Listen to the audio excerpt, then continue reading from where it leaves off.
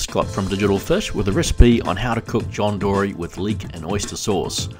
John Dory aren't a pretty looking fish, but they have a delicate white flesh which is simply delicious.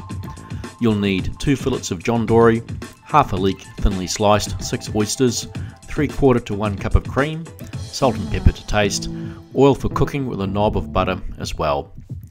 Add the oil to a pot and gently fry the leeks until they're soft. Add the oysters and cook a few more minutes before pouring in the cream.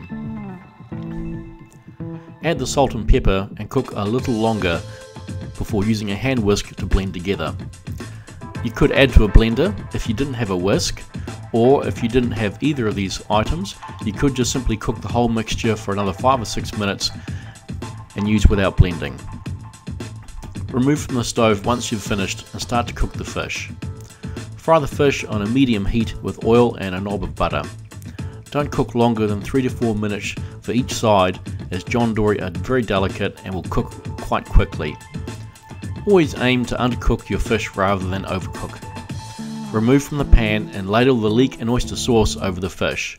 This is a nice summer dish which could be accompanied by salad or a helping of chips. For a winter version, using the same ingredients, Use a little less cream and a few more leeks to thicken the sauce. Spoon the sauce onto the dish first before adding the fish. The oyster flavour complements the delicate texture of the John Dory perfectly. You'd better go catch John Dory to see what I mean. Scott from Digital Fish, thanks for watching.